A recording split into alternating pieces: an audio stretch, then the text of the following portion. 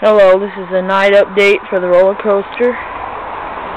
The update is I got some little night lights out here. They light up in the dark so you can ride at night. It's kind of dark, but as you can see it still ends right about here.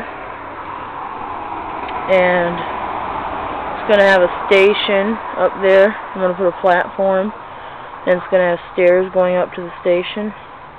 And an awesome new cart. Not the old one, that one sucks.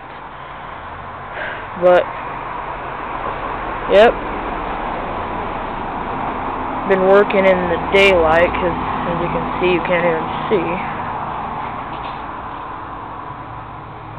Yeah so update number three I'll be working on the station and the stairs probably not extend it anymore for about a month, but I'll be working on the station all the way, all the way up, up there.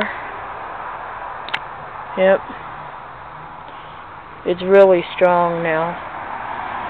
And it's going to be an awesome roller coaster. So stay tuned and see what it looks like on Update 3.